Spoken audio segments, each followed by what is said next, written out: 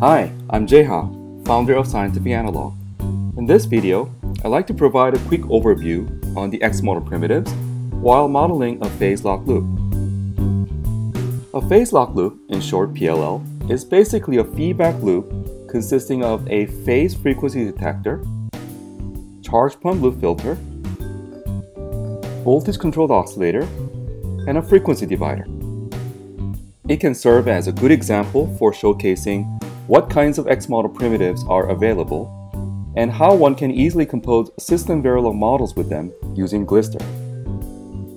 To follow my demo, first copy the X-model PLL tutorial directory included in your X-model installation to your local directory and launch Cadence Virtuoso after sourcing the setup file. For more information on how to get started, please refer to the README file included in the tutorial. Glister provides the Xmodel primitives as schematic symbols, and you can browse them from the library name xmodel underscore prims.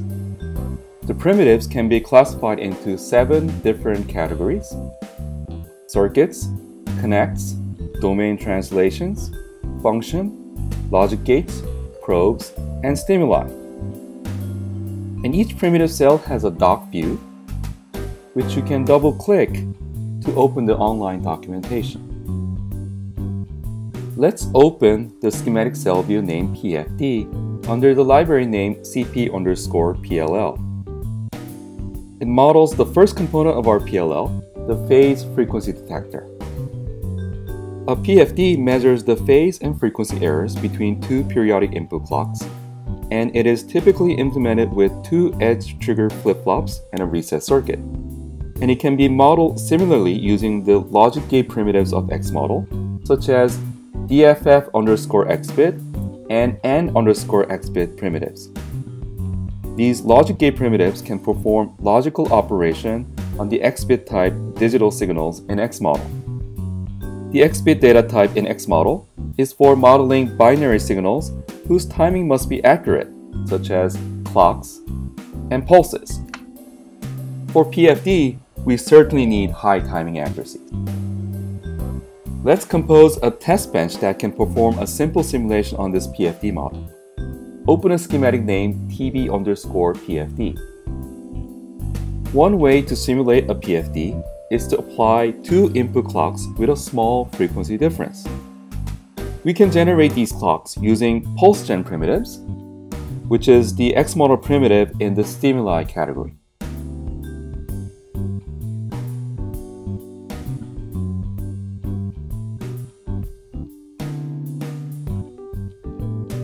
To record the simulated waveforms, simply place this dump primitive on the testbench schematic, which is one of the probe primitives. Now, to launch the X model simulation from Glister, open the testbench editor and choose the simulator and simulation time and press this play button. Once the simulation is completed, you can click on this wave icon to open the X-Wave waveform viewer and browse the simulated waveform. You can see that the up and down pulses of the PFD are generated correctly as the timing between the two input clocks changes. The second component of the PLL is the charge pump loop filter. Let's open a schematic named CP underscore filter. A charge pump loop filter adjusts the phase and frequency of the VCO through its output voltage based on the timing error measured by the PFD. It is typically implemented with a set of up and down current sources that dump charge into an RC filter when the up and down signals from the PFD are asserted. The most intuitive way to model this circuit is to use the circuit primitives of X model, such as iSource, Resistor, and capacitor primitives. This transition primitive is one of the function primitives of Xmodel, which translates a digital input to an analog output, in this case, the current level of the iSource primitive.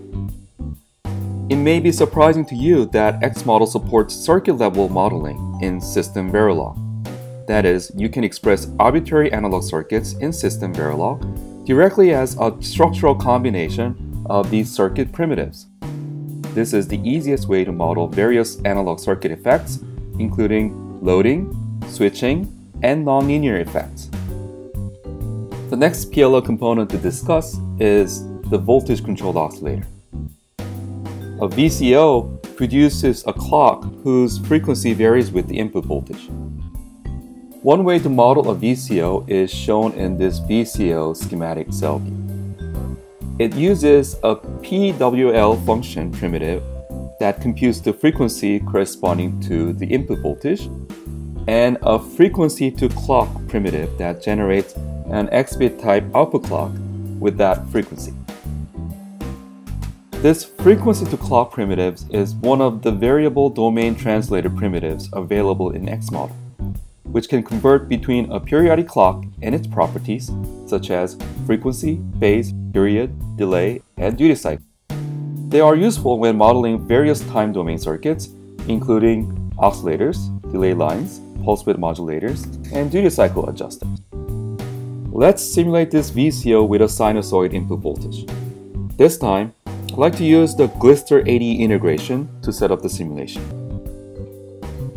Launch the ADE and select X model as the simulator. To set up the stimuli for our VCO, select Setup Stimuli pull-down menu and define a sine function for the VCO input port. Then enable the analysis name X model with the desired simulation settings and start the simulation. Once the simulation is over, you can view the waveforms by selecting the Results X-Wave menu.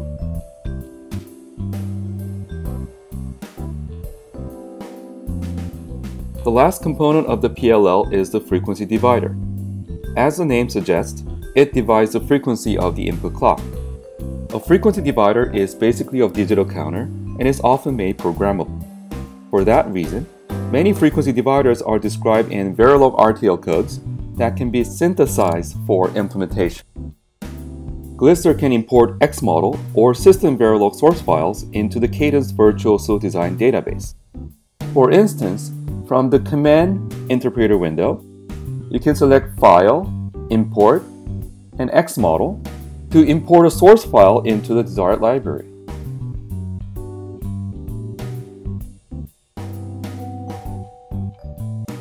Glister can also work with other Verilog views supported by Cadence.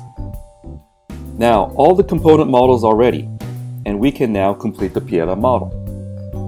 The PLL schematic connects the PFD, CP filter, VCO, and frequency divider instances in a feedback loop. One noteworthy feature of Glister is that it can automatically detect types of each signal and insert connectors when two different type ports are being connected.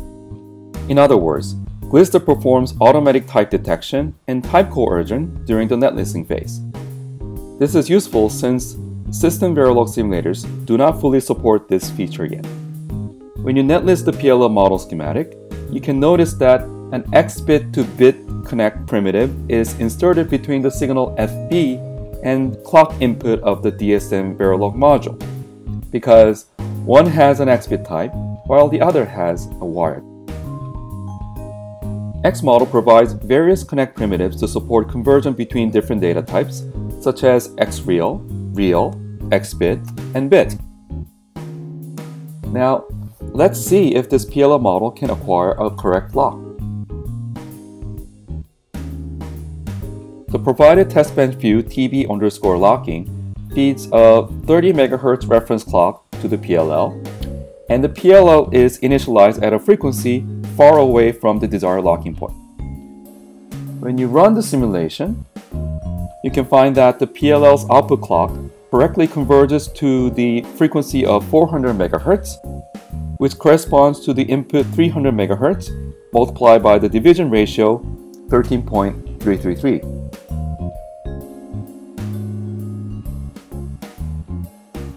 There are more test benches you can apply to the PLL model. For instance, the TB phase step test bench measures the PLL response to the input phase step, and the TB frequency step measures that to the input frequency step. And the TB underscore JHIS test bench measures the jitter histogram and phase noise spectrum of the PLL output clock. This X-Model Test Bench Editor provides a convenient interface to manage multiple test benches written for a single model cell view. The tutorial and Glister user's guide describe it in more detail. That's it. In summary, Glister and a rich set of Xmodel primitives make it easy to compose system verilog models for analog mixed signal circuits, all within the Cadence Virtuoso environment. For more information on Xmodel and Glister, please visit us at www.scientificanalog.com.